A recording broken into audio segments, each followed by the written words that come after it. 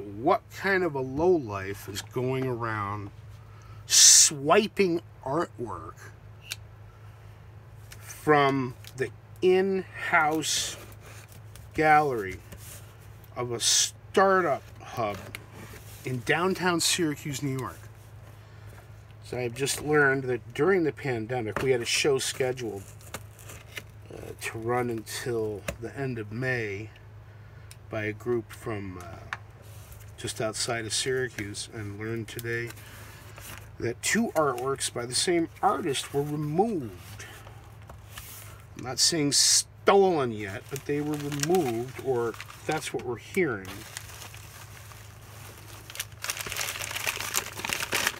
What do we get? Some pizza. Oh, look at that. All that cheese. And then I can save some money on household goods. Hey, those look interesting. On the bottom. The things people send you. And as long as they arrive intact, all good. We'll solve our mystery later. Because what we have here is a fascinating grab bag of goodies. Let's let's let's take them all one at a time here. We have a school crossing sign in metal.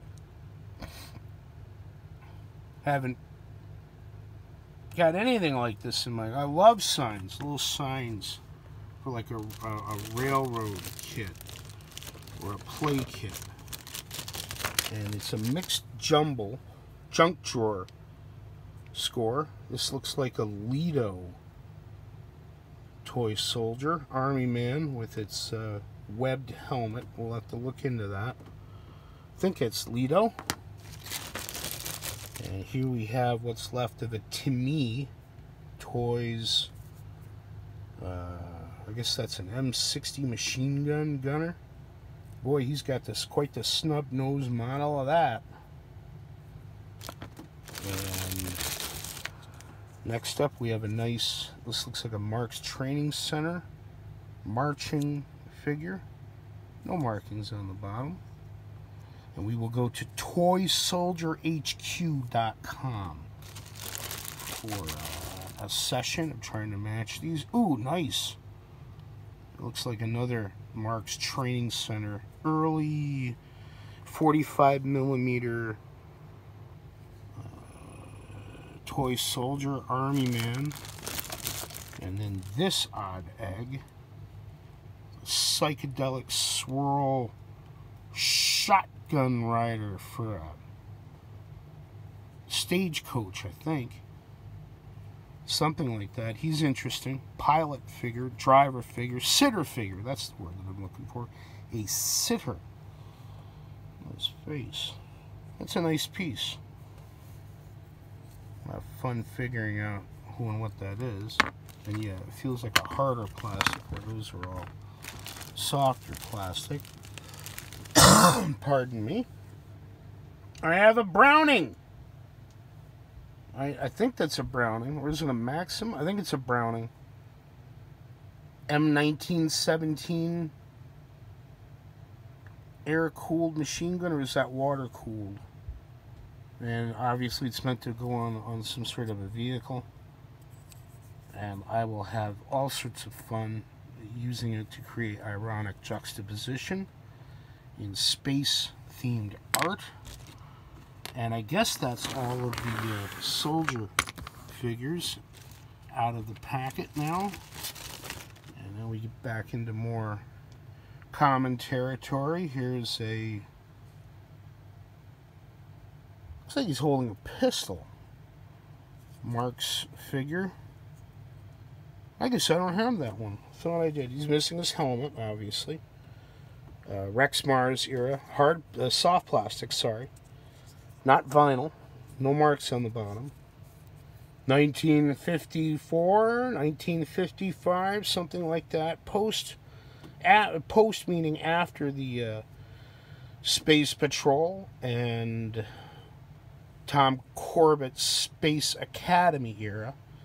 The Rex Mars was the generic name that, that Marx came up for their spacemen from that series after the licensing ran out. Here's a nice standing Tom Corbett, hands on his hips, who's a mark marks a match for this guy here from my collection. Also a Tom Corbett, hands on his hips. Whoa, looks like he's missing his bionic eye. Remember that the Six Million Dollar Man, or was it the Six Million Dollar Man? You'd look down through his head, and there'd be like a little reverse periscope or whatever. So we got a, a Tom Corbett out of it, and we got a seated soft like the Tom Tom here is a vinyl. It's stiff, but it's it's I don't mm, might be soft plastic where this one is definitely a vinyl. Yeah. So that's a soft plastic on the right, vinyl on the left. Same pose, but with the base added for extra stabilities. And here's a, a seated Tom Corbett Space Academy era figure. He's going to get a washing. Even if that's paint, it can be removed. I kind of like it. It's someone's It was someone's toy. So it's okay to have it a, a bit messed up. And the piece de resistance is that I finally have this guy, this damn thing, which is one of the Marx aliens introduced with the Tom Corbett. I think I think he was used in all the sets. Tom Corbett, Space Patrol, and then later in, in different forms with uh, Operation Moonbase and the giant Martian landing. His happy, mousy face uh, has been all over the Marx space figure legacy in all sorts of different forms. No markings on the bottom.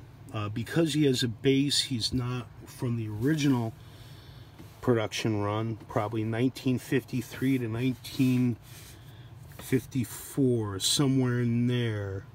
Uh, pretty sure, although they, they were, he's soft plastic, don't want to get ahead of myself. I don't think that's vinyl. I'm pretty sure that's a soft plastic. And I don't like him. I'm glad to finally have an example, and the, the price was right, especially with all the other wonderful bling that came with it. But I don't like him. And add him to my collection with a sense of relief that, oh, I finally got one. And I was able to get it for less than 15 bucks. His nose has seen better days. Looks like it might have even been chewed on at one point. Too happy.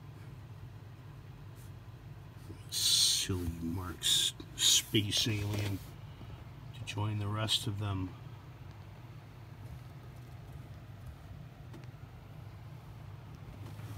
And we're done.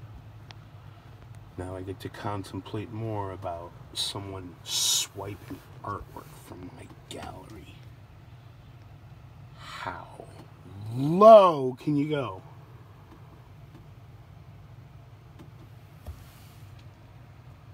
But there's a bright spot in the day, and I'm out of here.